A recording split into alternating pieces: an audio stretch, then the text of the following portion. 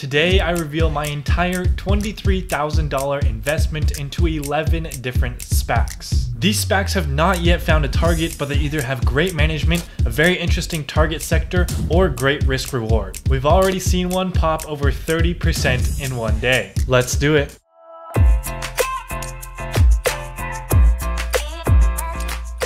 What's going on everybody? My name is Matthew and today we are talking about 11 ultra promising SPACs that we are trying to find before everyone else. Give me the format. In the first minute or so, I'm going to explain what this portfolio is all about, how it works, and why it's called the incubator portfolio. Then we'll just start going through them one by one based on percentage gain. And a quick reminder, the Patreon and Discord is open for the month of February and the prices are changing at the end of today, February 7th. Top tier patrons get access to this portfolio, my public portfolio, and anything else that I try and research and come up with. So if you genuinely want to become a long-term investor who can think for themselves, make sure to click that Patreon link down below. There's no one else doing it like us right right now. All right, let's get started with how the incubator portfolio works. I simply buy pre-target SPACs, ideally as close to $10 as possible with good management and good prospects. If you have a feeling you already know how this portfolio is going to work, go ahead and click this timestamp right here. Otherwise, I'll explain it in about a minute. SPAC stands for Special Purpose Acquisition Company. And to put it in simple terms, SPACs are companies that just hold a bunch of cash that will be used, hopefully, in a merger or acquisition.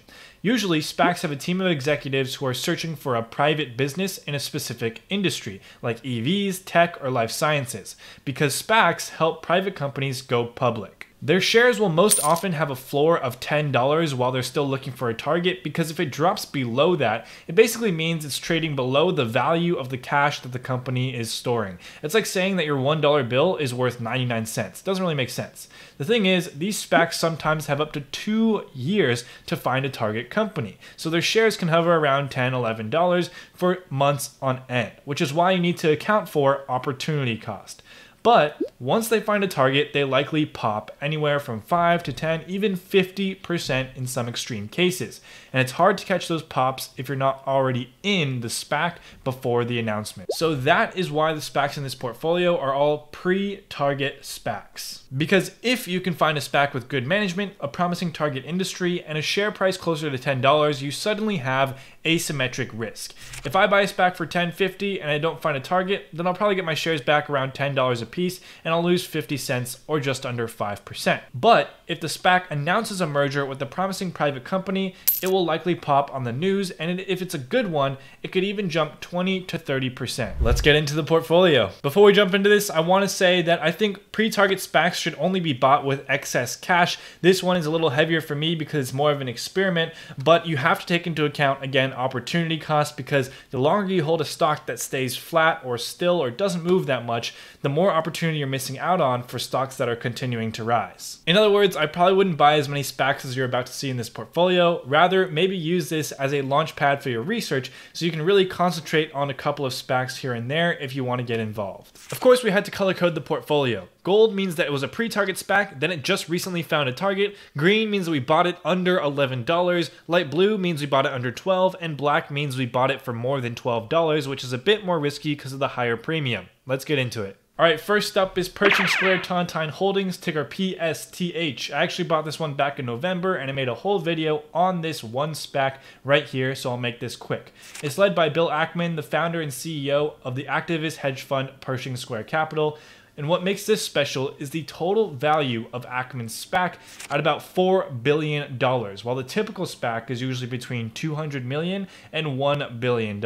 Additionally, Ackman's own fund may co-invest up to another $3 billion when a target is identified, potentially bringing the total investable funds up to $7 billion. And what's interesting is that other long-term investors like Seth Klarman have staked large positions in PSTH.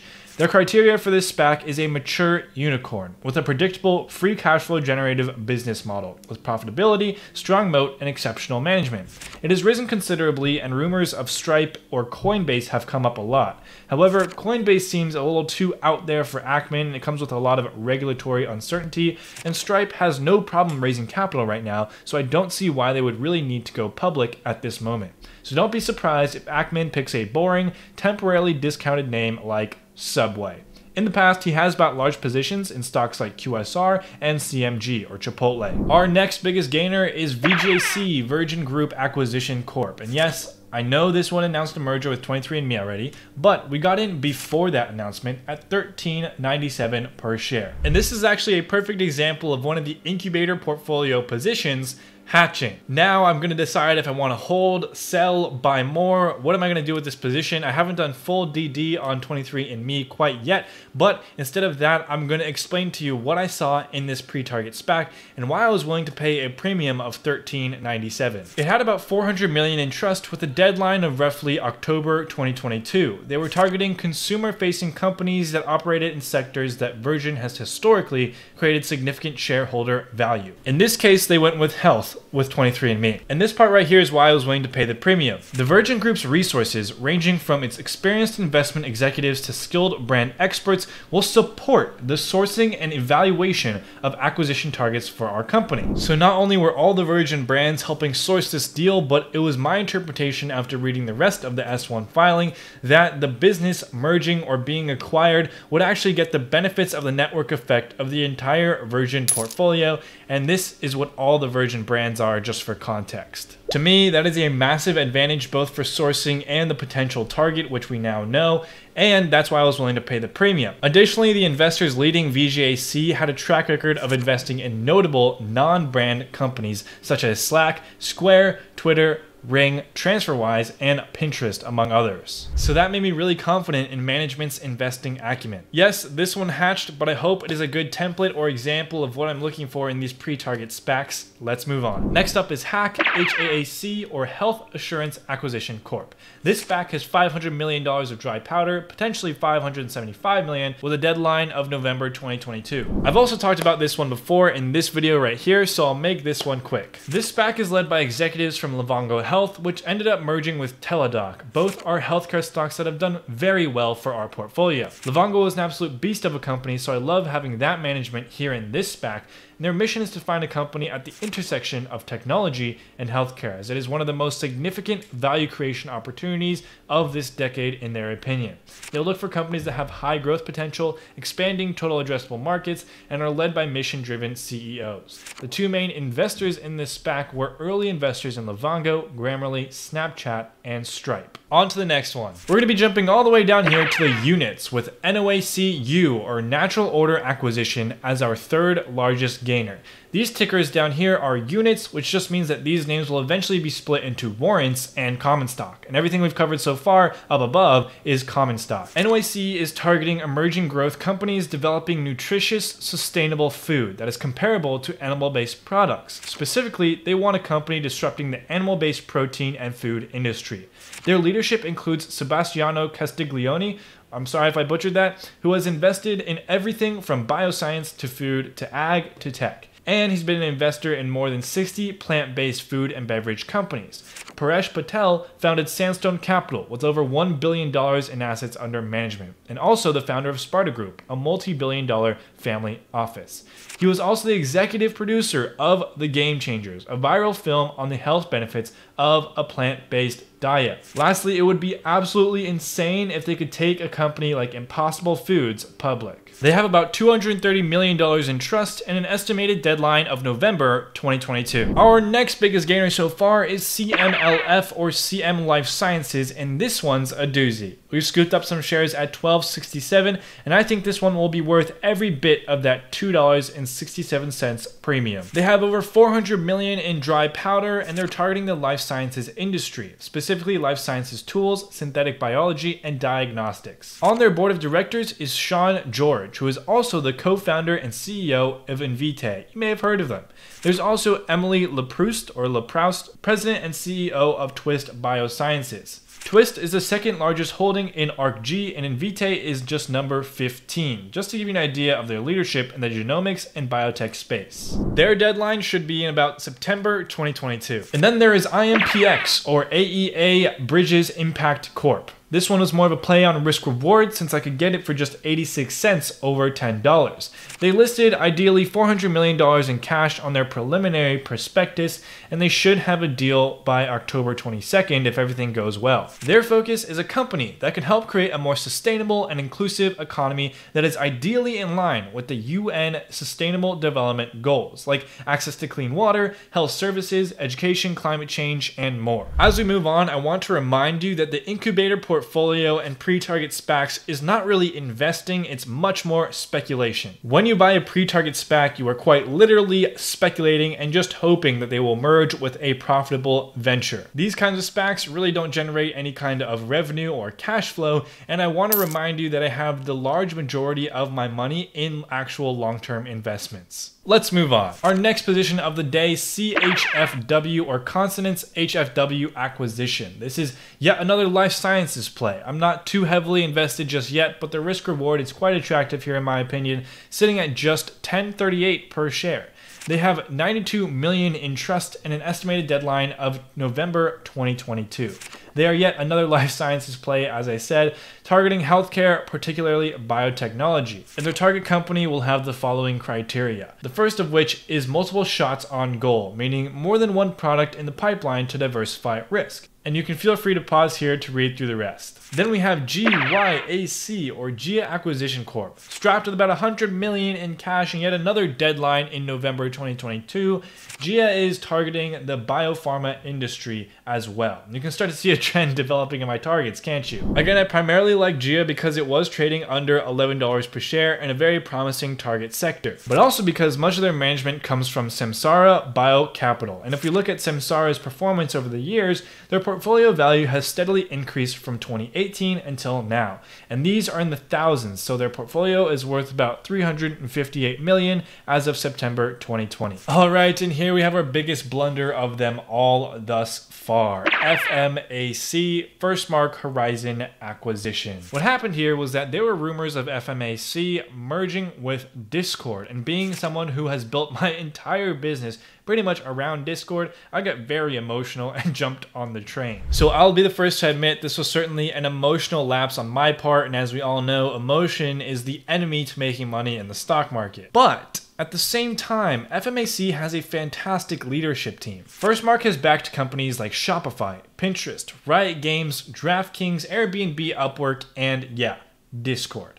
Firstmark also runs something called The Platform, which is a proprietary suite of events, resources, and networking opportunities where they can shine a spotlight on the portfolio companies that they've invested in and hopefully accelerate their growth. With about 400 million in trust and leadership from DraftKings, EA, and more, FMAC will set out to try and target a company in any of these following industries. They're really going after a generational technology or technology enabled business, and that's what I love about this SPAC. By the way, I don't know if you know, but there's this really weird rule on YouTube where if you breathe through your nose while watching this video, you have to hit that like button. So if you've done anything that looks like this, then you're gonna have to, you know, like this video. I'm sorry, there's nothing I can do about it. I'm gonna have to like it too. It sucks, uh, but yeah, I'd really appreciate that. All right, two ticker symbols left. We saved the best for last. Let me know if you like these ones in the comments below. Jumping back into the units, we have SWBK slash U or Switchback II Corp. Glad to be in on this one at 1168 on these units. Now you may be familiar with SBE, the SPAC that has 4x in value and is set to merge with ChargePoint, an EV charging station company. Yep, SWBK is those same people. As you may have guessed, they're targeting the energy technology arena looking for sustainable and innovative solutions. They look to put over $300 million to use before their estimated deadline of January 2023. So this is a long one. Their acquisition criteria is honestly pretty vague, but I'm willing to let their track record speak for itself here. I think if they can indeed find a company at an inflection point, we could see an SBE part two. And finally, all the way down at the bottom, we have Dune U or Dune Acquisition. I originally bought this one as speculation that it would be Chamath's pipe investment in SaaS because it seemed to be one of the few SPACs specifically targeting SaaS companies. And for those of you who don't know, SaaS is software as a service. Nevertheless, I am still happy to be holding Dune, who has about 170 million in trust and a deadline of December 2022. They're targeting a pre-unicorn or a company with an enterprise value between 300 million and 1 billion dollars because they think there are plenty of companies under a billion dollars that could easily reach that milestone with good management. They're looking for a company in what they call SaaS 2.0 or the migration to interconnectivity, workflow and optimization through AI, machine learning, robotic process automation and no code development. Their criteria includes fintech and software in general, but most importantly, either leading market share or being in a market where they can become market leaders, as well as organic revenue growth with profitable customer acquisition. They also want a strong moat with high retention rates and potential for high cash flow conversion. Their criteria seems a lot stronger than most of the S1 filings I've read. So that concludes the reveal of the incubator portfolio for now, and I will leave you with this. Chamath himself said SPACs may be easy to raise, but they are hard to execute and success isn't guaranteed. Good luck to all the players. To me, he's basically saying that there are now so many SPACs out there that it's getting really competitive, and there's been articles written about this. And there's a lot of speculation going on, just like what I'm doing with this portfolio, to be quite honest. And if you speculate too dangerously, it might end poorly. Not all SPACs will find a deal, and not all deals will be sealed. Did I mean to rhyme? No. However, you can control your risk through the premium that you're willing to pay on these pre-target SPACs. Moving forward, I'm going to try and restrict myself from buying any pre-target SPAC that is over $12. That way I can protect myself from losing over 20%, which is still a lot. But there are just some SPACs out there that have such great management and such great prospects that you can almost try and justify it. The first one that comes to mind for me is CMLF. I think that one has a lot of potential considering who's leading it and the space that they're looking into. If you found any value in this video, and I hope you did, please make sure to hit that like button, subscribe, and check out a quote of the day. You might just learn something. I really like the one that I put up here today. Make sure to follow me on Instagram for daily posts about my portfolio, stocks I'm watching, and all that good stuff. And if you're watching at this point in the video, you are the real MVP. Don't forget your peace and thank yous.